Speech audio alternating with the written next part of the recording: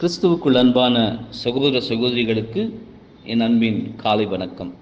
பரலோக மன்னா ஆகஸ்ட் இரண்டு. நம்மை உண்டாக்கின யோகோ யகோவாவுக்கு முன்பாக நாம் பணிந்து குனிந்து முழங்கார் படியிட கடவும் வாருங்கள். சங்கீதம் தொண்ணூற்றி ஐந்து ஆறு. கிறிஸ்துவ வாழ்க்கையில் தேவனுக்கு பிரியமாகவும் நேர்மையாகவும் நாம் நடக்க முடியாதென்று நாம் நமக்குள் நினை நினைக்கக்கூடும். பொன்னைப் போலவும் வெள்ளியைப் போலவும் விசுவாசம் காணப்பட நாம் முழங்கார் படியிட்டு ஜெபத்தில் நிலைத்திருப்பது அவசியமானது.